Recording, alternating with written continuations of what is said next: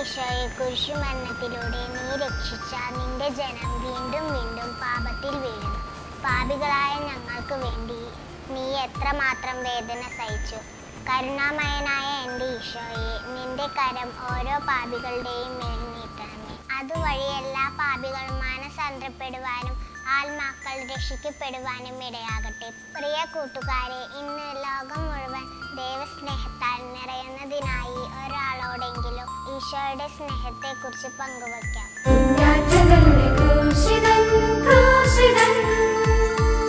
കുഞ്ഞാറ്റകളുടെ